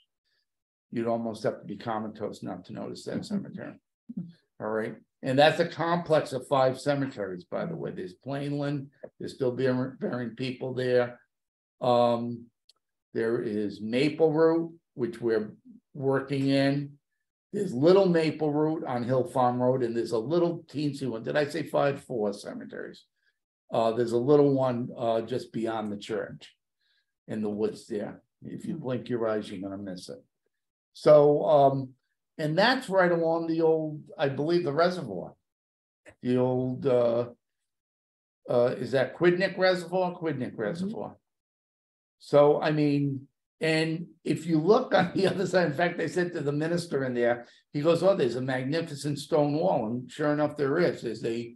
Stone wall that straddles Qu- Quidnick Reservoir below these cemeteries, and there's, you can walk along there. So, so that's, that's our thought. Now, you also mentioned about burning, and I said, oh my God. So if you're gonna burn in Nichols Farm, believe it or not, there's a great cemetery in there, number one thirty-five. It's the Mary Rice lot, uh, um, lot. It's in a tree knoll. I have never visited that cemetery. Um, but it's there. It's a bunch of field stones, but the Mary Rice stone is one of the most historically significant stones. It's a magnificent stone. It's, it was uh, carved by a guy by the name of Jonathan Stevens. We know very little about Jonathan.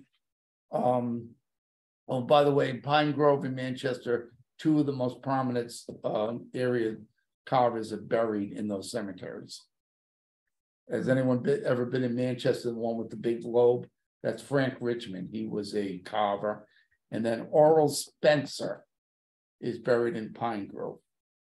Right next to his two wives, one wife's on one side and another wife's on the other. So, so Charlie, I think one big opportunity coming up Yeah, this year, since we're doing Whipple property as our land trust days. right, That if we combine some resources that and add adjunct tour of those cemeteries, since people will Right. be walking, so. If your group is willing to participate, I think that will, a lot of people, as we know, are interested. And in when those is that? cemeteries. October Fourteen, fourteenth, yes. okay, so we. Uh, last year, Western Rhode Island Civic Historical Society, which is the Paine House on Station Street. Did a paid tour that was very, very successful of Pine Grove. Okay, Mhm. uh, this year, we're doing a paid tour of Manchester. Okay, which is the one above. Mm. So, uh, yes, we, we would be willing to participate in a tour. I'd have to run it by everyone be, uh, regarding Manchester. Uh, but part of the one in Pine Grove, we pointed to things in Manchester. There's a family plot of the white zincs. Those are the metal metallic stones. Um, I don't know if you've ever seen, you probably have seen them and say, gee, but that's a weird looking tombstone. They're made out of uh, metal. Um, and also we pointed out the Richmond stone and the Hockness stone. So yeah, we'd be, we'd be interested in doing that, Mhm. um, with your group. Um, so I don't know where else, uh, you could see that we could like, um, you know, mesh our resources and, and our efforts and things like that. Probably on some of your many properties, there are cemeteries. yes, we often have a cemetery in a site walk, not that we end up owning the property, but you know, Right. places we've been have cemeteries. And by the way, there are cemeteries in the woods that you find stones sticking out of the ground and you think nothing of it. Those are field stones. That's a cemetery. Hmm. All right, there is one uh off of Piggy Lane. Hmm. Uh, behind someone's house. Hmm. That's not marked, it's not signed. Hmm. Um, but um, but it's in, uh, I brought the Sterling book with me. This Ah. is available at the library, non-circulating. John Sterling and uh another person uh did a survey in the late nineties of all the cemeteries. Mhm. So there is schematics or maps of just about every cemetery. Right, if you have the number, then you can get the burial sites and many are unmarked. And we have also Maureen and other people have taken GPS readings of cemeteries. Hmm. So, um. Hmm. So, uh, my purpose tonight is to make you aware of what we're doing. If we could team up, so to speak, um. Great, the more the merrier. Um. You know, we'll even teach you how to repair monuments. How's that? It's not as difficult as you might think. But we do have a couple of real master craftsmen, uh, Bob Chorney and Colin Parkhurst. Colin used to be head of the Cranston Cemetery Commission. So, um. In fact, Colin knows how to frame, he knows how to frame, uh, bases, which came in very useful. In a little cemetery we did off of one sixteen called the Crock Lot. So. Well, I think Charlie, the, the thing, the, the Whipple days would be really interesting because I think we'd be be able to draw in some more people that. Okay. maybe From, and I think the other thing is in your. Um, research, if you find that on Coventry Land Trust properties, we do have. Um, cemeteries anywhere that you come up in your Yeah. research, you know, let us know and then we'll be more than Mark them, yeah. Mhm. willing to work to make sure that they're preserved and, you know, Right. have focus so they don't disappear. into because the- the town has not always done a great job. About uh mapping out these cemeteries. Mhm. In fact, we discovered that one of the cemeteries that was described in Sterling's. Book is now part of somebody's basement on Tiffany Drive, Uh, okay? And there's another one over in Red, Red Oak, It's um, horror. Estates. That- We think it's underneath someone's house, mm. okay? And there is one from the sixteen hundreds, right by St. John and Paul's School. St. John. That's and- not from sixteen hundreds, I know what you're talking This- about. Yeah, it was, so I come out into the was wilderness, part of the Havertown, old- you know, I come into That the was part of the old Arnold Farm. Ah, ah, Yep, in fact. In fact, we worked on one on Lowell Street that's right in the hook. It's in that someone's backyard, uh, that dates back to the seventeen hundreds. hmm. So who So- owns these cemeteries? That's a very good question. Um. That is an extremely good question. So what happens when? Uh, for example, Maple Root used to be part of Maple Root Baptist Church. Mhm. Somewhere along the line, Maple Root Baptist Church decided to abandon the cemetery. And I think that's what formed Little Maple Root, which they're still burying people in, Okay, which is on Hill Farm Right. Road. Maple Next to the Street, pub. Maple Street, No, off Maple Street. no, this is Maple Root, which Oh. is on Harkney Hill corner of Road. Harkney Hill and okay, Hill Farm. alright. Yeah. Yeah, Okay, Near what is. Now, the more difficult one is what, um. So if you go to, um. Well, the one on Lowell. Lowell Avenue, that's right a block away from St. John and Paul Church. Mhm. So that actually belongs to a gentleman who lives up on the hilly part of Lowell Avenue. It's his backyard. And it's still technically on his property. But the town, I believe, and Maureen could probably describe this better than I can. Takes it and takes off some of your assessment okay, yeah, because it's a cemetery. right, you can't. But you're under no obligation to, unfortunately, Yeah. to take care of that cemetery. Um, so in essence, most of these cemeteries are just hanging there. Nobody, well, forty-two of the two hundred are cared for by public works, uh, not by public works, but by the town through an independent contractor who just is required to go in there and uh, cut the underbrush.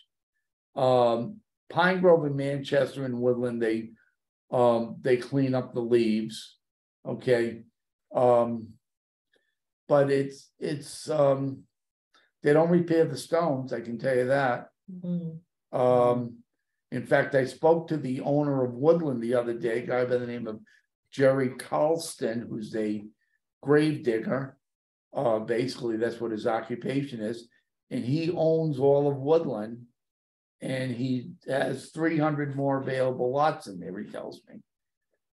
So, Hmm. um, So, um, so it's, it's. That's the reason we do what we do. We, we feel. We have it, we like doing this stuff. We have a sense of history, uh. You know, some of us like cleaning out the, I know Maureen likes lopping and raking, while Bob, Shawnee and Colin. They, they don't want any parts of that, they like repairing the monuments. I'm a little of in between. So I'll, I'll go back and then I want to turn over a few minutes. Yeah, I'm sorry if I took too much time. No, so I, I think the opportunity, since we will be at Whipple to, to visit those cemeteries and, and get some. Um, publicity for your group and things that Right. you've done, uh, that's a great, and then also if you're. Do your research and find anything on uh, Coventry Land Trust properties, any cemeteries, then that would be an opportunity to work with us and, Right. making sure that they're preserved. and not If, damaged. if your group wants like a tour of these cemeteries. All you would have to do is just name a date and we can show you what we've done in the, in these cemeteries and. And you can get an idea and a feel as to how it kind of meshes in with your property, especially. Whipple and then over at Quidnick Reservoir, which you really don't have a property over there, I realize that, but. Maybe I do. I go, I own a cemetery, Oh, my property, it's a historic cemetery, uh, husband and wife. very next to each other, uh, and they, uh, being late eighteen fifties, the cemetery. Their last names are spelled differently, they're doing it phonetically back then. Um. And, uh, we, in fact, one of our town property, the conservation commission owns, we found one two weeks ago Oh, wow. that our cemetery should have been trying to, this is the old books written back in the nineteen thirties, like. hundred feet south of such and such road, well, you go up here, you don't see it, we found it. are you from Glocester? Yes. Bill Brown found Bill- one deep Bill in the found it woods. our Yeah. He yeah, put it on Facebook. Yeah. By the way, we have a Facebook page Yeah, too. I got to Guilford with, uh, you know, Betty and Carlos Manvucci, Yes, Betty that restored our, one of our. cemeteries In fact, Memphis, that's great. I am the attorney without giving attorney-client uh, information. Betty and Carlo own the cemetery that's on their property in Yeah, Glendale. yeah. And I was the attorney that helped them with that legal Yeah. maneuvering. Uh, Worked with Betty many years, so, uh, that's, that's, well, we're one degree of separation, so, uh. That, I guess, uh, well, the cemetery, I don't know, I was a cemetery owner and, and a land trust, and conservation commission, we own, own cemeteries and we try to, you know, preserve them. and Hire Betty and Carlos to Yeah. pick them up, because it's beyond our, uh, qualifications, because it's special equipment, you need to do it right, so. Uh, yeah, yeah, that's it, so we found out basically how, who owns it, you go to the uh, abutting properties, look at the deeds and the descriptions and map it out. Okay, it's a carve out here. It's, it's a public, it's a town cemetery. It's, it's owned by that property, right? So. Yeah, a lot of work out there. Yeah. Okay, now you're, Okay. give you the floor. A few things, uh, uh, Rhode Island Land Trust Council's got some upcoming, uh, online and in-field, um. Workshops, one on GIS mapping coming up. And one on actually using a GPS to go out in the field and map a trail or plan a trail. Uh, I worked in the Bedoyan one with Dennis four years ago and rerouted, I, I flagged that away from that glacial, the rocky glacial moraine going around it, so you didn't go through it, that, man, that was an ankle foot trail. Still is. Yeah, But this, I, we mapped out a flag, a route around it altogether, and and that's where trying to find, where is the northern boundary, because it wasn't marked, there's no, you know. Physical remnants of a boundary, like I say, I looked through the old trees, look for a piece of barbed wire sticking through it there, that's where, they, you know, keep the cattle in. Nothing there, it was just open woods there. Uh, so did that also, I mapped an area.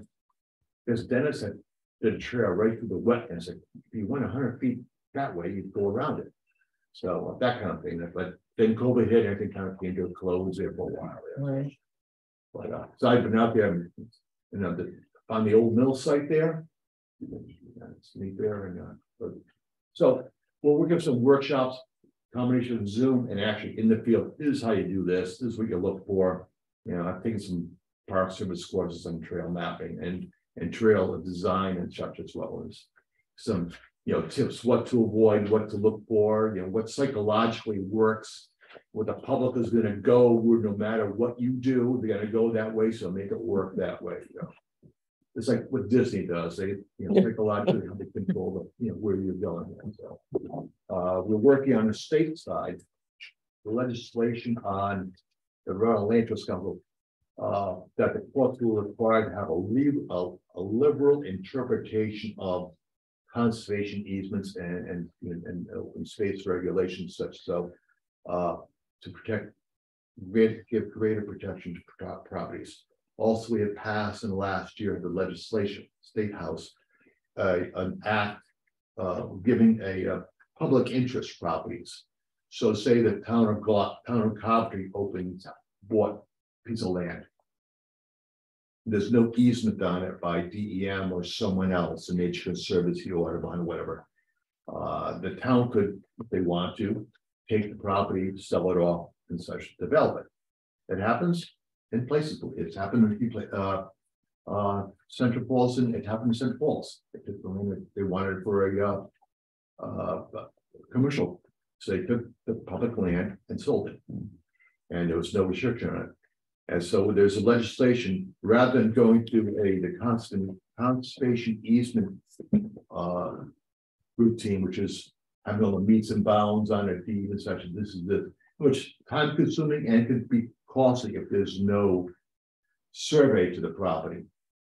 That the town can declare such and such property is in the public interest. That locks it up from development. At little to no cost to the town, just the town council make the resolution naming these properties. being in the public interest. So that's how like Newport, their public parks were all open for development. And they passed that and they they adopted that resolution, they made that South Kingstown has done it, Smithfield has done it with their. Land trust properties to make them in the public interest. So you find more information on that on the Rhode Island Land Trust Council website there. Uh, we're also working on, uh, with DEM. On our next revision of the wetland permitting process.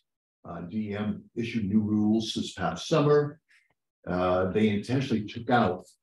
Uh. New rules regarding trail improvements, foot trails, wetland regulations, and what, you know, you to get an insignificant alteration permit.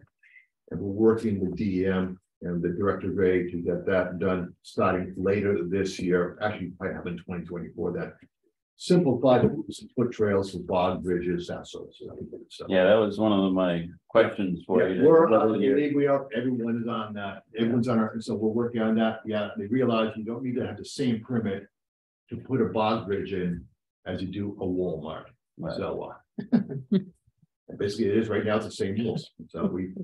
Try to get it simplified for, you know, s- uh, trail bridge a certain width, certain length, and such that you don't have to go through the.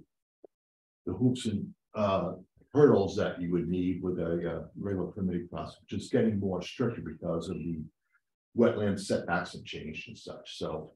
And now DEM's looking, they want a five hundred, they want a map of five hundred year flood zones and stuff, so.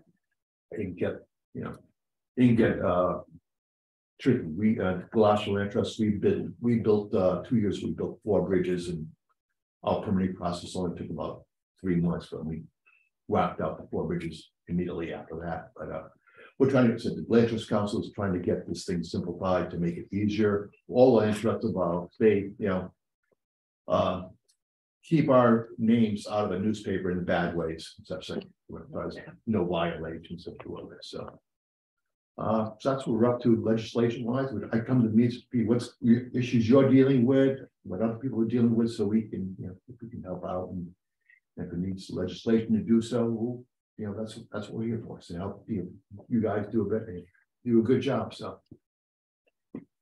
Anyone got any questions?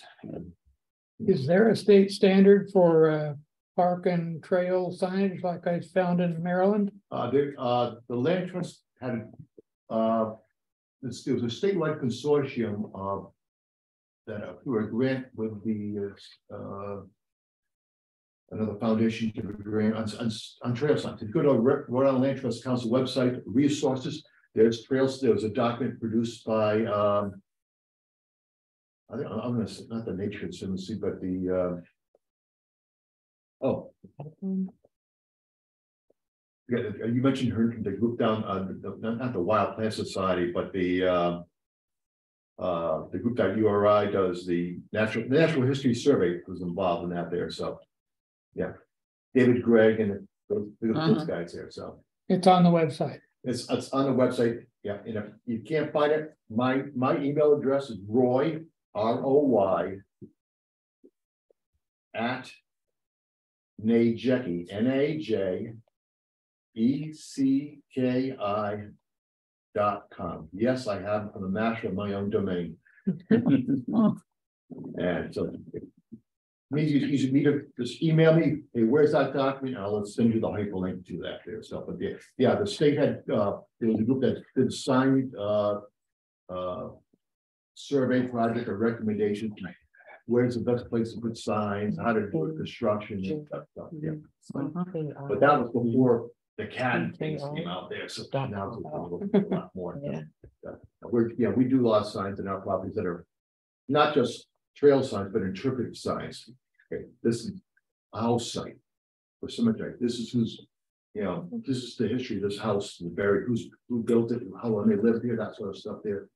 We do, uh, you know, interpretive signs on, uh, yeah, the trail ID signs and, uh, or the kind of forest growth or whatever. And so- And we get a lot of feedback on our website and our Facebook, uh, website, primarily that. How much the people enjoy the interpretive signs along the Mm. trails. Right. And I just- This, they're learning something, it's interesting. you know, Was it the West Greenwich Land Trust that did the? You really can't call it kiosks, but I guess they do call them kiosks, Yeah. are they meeting houses? The one on Plain Meeting mm-hmm. House Road, Mhm. and mm-hmm. then the one in that little village up there, Stone, Stepping Stone Ranch. Yeah, yeah. Mm-hmm. Yeah, I know the one that, uh, in Plain Meeting House Road, that wasn't the land trust doing it, but I. I think those are really good. Yeah, yeah, and if you need plans for kiosks, we, we got those as well, we need plans for bog bridges, we have those well, really simple to build, I built many of them, so over the years, so. uh, And, uh. You know, you whack out one in a few hours, literally, so. It's, you know, what we try to offer is advice and says a trail, if you've got a trail one, go from here to there. You know, uh, often it's, you spend a lot more hours planning when you do constructing them. Lost Land Trust, I was out last week working on trails, making new trails. Uh, and we, we got, I got about seven years worth more coming down. So, You know, we have a copy of Silver Acres, it's a while to Yeah. stuff in here, so. Uh, but yeah, so we, the Land Trust Council offered the service helping out. I was helping Dennis out, never got out back again with us to Yeah. get out back in those woods there, but, uh, but. Well, perfect, and I think uh because we do have uh a little bridge area that we do wanna work on to. On that Bowden property Right. that we still need to make um happen, so that's why I'm interested in uh Yeah, what Yeah. kind of. Permitting or what, That'd be nice. because it's not big, but it's like anything right now, the the regulations, if you follow them step by step, are very complicated. It might be versus steep. just- right down to the point, you, you map out what you want, length, and you ask for a predetermination meeting with the wetlands. Explain the project, the length and such. The problem is that they don't want you. If you're not doing excavations, soil, move- except for seeing shovels here, shovels there. Yeah, Uh, and you know what the wetlands are, that simplifies a lot of the stuff there, so that, you know, you. You're doing, yeah, you're staying out of the wetland for the most part, you work, you, you say in the application, you're not gonna. You stay out of the zone here, except the actual trail construction there, you're not excavating, you're not putting in footings and such, so. It makes it easy, they're not looking at, um, the design so much of the bridge. People think, oh, they wanna know if it's structurally strong enough, they don't care, that's, you know, you can be making it out of popsicle, popsicle sticks, they, it wouldn't matter to them. So, they're pretty much looking at what you're disturbing the, the wetlands out there, so.